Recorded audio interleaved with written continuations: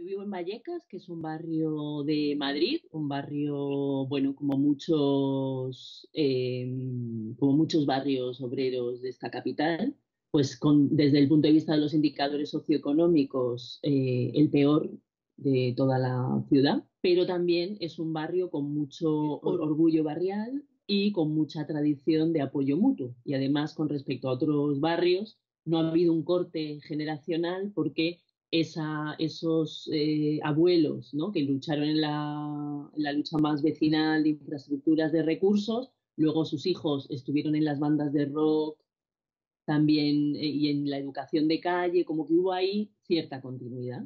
Entonces, eh, cuando se decreta el confinamiento, era muy claro a cualquiera que estuviera un poco implicado y conectado en el barrio que para muchísima gente encerrarse en su casa no es ningún paraíso, porque es pequeña, porque viven tropecientos, porque viven de economías informales que se ven de, repente interrumpidas. Sí había que limitar los contactos, ¿no? porque parecía que la epidemia no era una pura invención, había una epidemia, pero que a la vez el contacto era lo único que nos podía salvar, porque no le podías pedir a alguien que eligiera entre morir de coronavirus o morir de hambre cuando se decide eh, mandar a todos los niños a sus casas, inmediatamente sabemos que eso supone que hay muchos niños que se quedan sin su comida fundamental del día y sabíamos además que el tipo de apoyo o del tipo de continuidad de la escolarización que estaba planteando la Comunidad de Madrid a través de plataformas digitales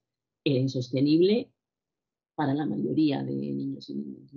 Y lo que hemos intentado es eh, como decía una compañera, no soltar, no, soltar el vínculo. Eh, bueno, las profesoras han, elegido, en vez de la web, sin más, han elegido el WhatsApp como medio fundamental para ir proponiendo actividades. También han, eh, saltándose un poco algunos de los requerimientos del confinamiento, pues han ido visitando uno a uno para llevarles cuadernos ¿no? con los que poder trabajar. Y luego la otra cuestión, la alimentaria, como familias nos hemos movido para buscar dinero por debajo de las piedras eh, para poder hacer un reparto de comida que hicimos ayer. El momento de repartir la comida no es solo dar comida, ¿no? no es porque sucede en una comunidad. Entonces, desde la elaboración de la lista de la compra hasta el momento de ir llamando a las familias, oye, ¿tú cómo estás? ¿Cómo está tu familia? Y las propias familias, digamos, que a lo mejor están mal, pero saben que no tan mal como otras, ¿no? Que te decían, no, yo creo que puedo aguantar, priorizada a otras. Eso ha sido muy bonito y también en el momento del reparto, pero también te mirabas, ¿cómo estáis? Cuidaros, ¿no? Y digamos que de un lado y de otro, también de quien estaba recibiendo la comida, es, cuidaos también vosotros, como sabed que que en el peligro del contagio estamos, o sea, que todas podemos caer.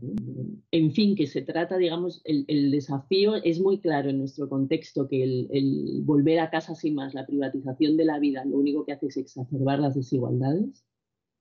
Entonces se trata de inventar un modo de vínculo que pase por otros canales y esos canales no es uno, no puede ser la plataforma educativa, sino que tiene que atender al conocimiento que ya tenemos como comunidad de cómo vive cada, familia y en qué condiciones está. Eh, al mismo tiempo que estamos haciendo esto, estamos escribiendo como locas campañas, eh, lanzamos una campaña por un plan de choque social para la infancia, escribimos a las autoridades porque las medidas, el supuesto paquete, por ejemplo, de ayudas a la alimentación no ha llegado, pero nos estamos encontrando con, con, respuestas insultantes, ¿no? que nos vienen a decir que está todo resuelto. Y eso sí que nos preocupa porque esto va a durar y, por ejemplo, en el reparto de comida de ayer, que repartimos comida para, creo que eran 136 menores y 100 adultos, nos hemos gastado todo el dinero nuestro, de la asociación de vecinos y de otro grupo de vecinos que ha donado. Nos quedamos en casa, pero no a cualquier precio. Cuando alguna de las eh, familias dice estamos vendidos en casa, eh, cuando empecemos ya a pasar hambre, no vamos a seguir aquí sin más. Por ejemplo, cuando estábamos organizando cómo íbamos a hacer el reparto de comida en el, en el colegio, bueno, había, nos estábamos saltando por varios lados la legislación del estado de, de alarma. Entonces había todo el tiempo una elaboración de eso, porque no vale una desobediencia gratuita de a es que me da todo igual, porque sabemos que sí que hay un peligro. De hecho, hay gente muy cercana que ha estado ingresada en el hospital. Entonces hay todo una cosa comunitaria, ¿no? De, qué riesgos sí, qué riesgos no, pero sabemos que algo de riesgo tenemos que tomar, porque la gente tampoco puede morir de hambre. Entonces es como eh, negarnos un poco a la unilateralización de todo por la, ¿no? este discurso de la guerra, ¿no? estamos en guerra, el enemigo, y hacernos cargo ¿no? de, de la pandemia, pero al mismo tiempo de que hay otras dimensiones de la vida que deben ser cuidadas.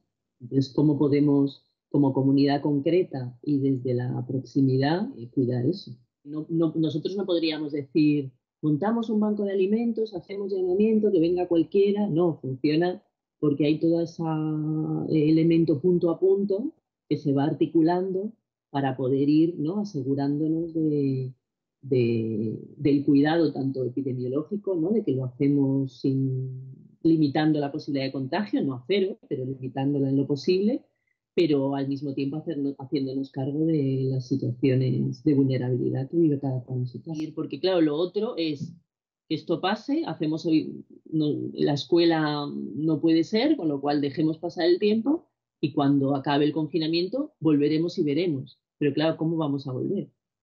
Si no se ha mantenido ese vínculo, si no nos hemos preguntado cómo estás, cómo están tus hijos,